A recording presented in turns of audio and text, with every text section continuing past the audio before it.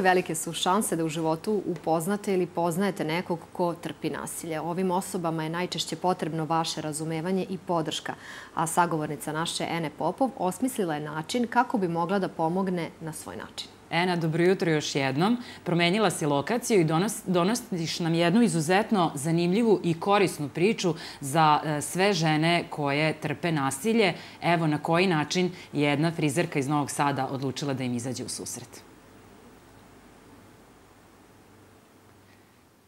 Tako je, drage moje e, koleginice, napravile ste sjajan uvod i ja neću mnogo pričati o tome. E, moja draga sagovornica e, je stvarno želela da nešto lepo i dobro uradi i reći ću vam sada nešto više o tome.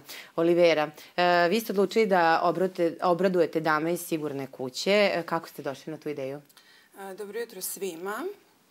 Pa iskreno, pre neko veče sam gledala neki prilog o mhm. sigurnoj kući, jako me dirnulo.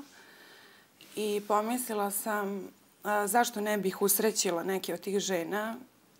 Jednostavno sam to poželela i mhm. želim to da uradim. Mhm. A na koji način ćete dati svoj doprinos? Vi znate da se ja bavim kolorima. I svakoj ženi je važno da bude lepa, jel? Tako je. U kojoj god se situaciji nalazila. Tako je. Da. Ovaj, I želim da ih obradujem farbanjem kose. Farbanjem kose? Da. Dobro. Da budu srećne. Uh mhm. -huh.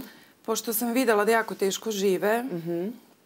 što me jako, jako pogodilo. I eto, bar malo da im dam sreće uh mhm. -huh. i vetra u leđa. A da li mi možete približiti, a i gledalcima, zašto je vama to važno, a i zašto je važno uopšte činiti ovakva dela? Uh, meni je važno... Uh, ja sam jako srećna kad vidim sreću na drugom licu. Uh -huh. Znači, kad nekoga usrećim, ja sam još, još srećnija. I mislim da je jako dobro raditi dobre dela, dobro se dobrim uvek vraća. Uh -huh. A kako ćete sprovesti tu akciju? Uh, uz pomoć mojih uh, prijatelja, poslovnih Dobre. partnera, koji će biti sponsori, ovaj, kontaktirat ćemo sigurnu kuću i dogovorit ćemo se na koji način je najbolje da to uradimo. Uh mhm. -huh.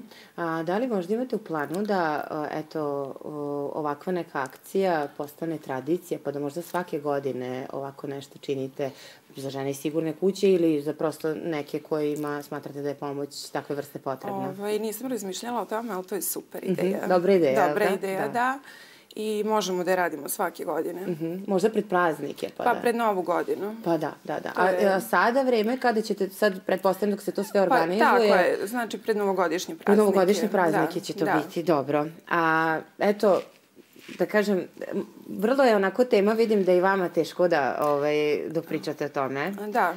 E, mislim, kako bih rekla, vrlo je onako dirljivo i ja sam zaista ganuta što, eto, postoje ljudi poput vas koji e, na bilo koji način daju doprinos. Neko će dati na ovaj način, neko će na ovaj, ali važna je ta namera dobra yes. i želja.